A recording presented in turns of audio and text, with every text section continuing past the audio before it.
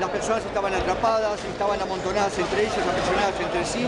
El trabajo de bomberos fue tremendo, eh, angustiante en algunos momentos, pero bueno, ya la mayor parte se logró liberar a las personas, falta algunos minutos más para liberar a los últimos, así que en algunos eh, minutos más, media hora, tenemos la segunda. ¿Cuántos chicos? ¿Cuántos menores?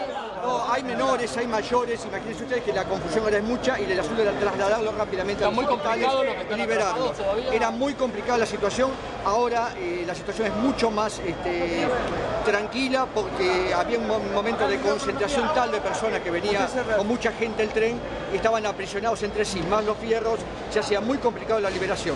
Pero eso se logró hacer después de un trabajo muy intenso y ahora se han acelerado las traídas de, de salvamento de las personas. vagón es más preocupante? No, no, no, no, era justamente en el primero, entre la unión entre el primero y el segundo, pero fundamentalmente en la parte final del primero. Eh, Lo más importante fue hasta ahora el- la tarea de rescate de los heridos.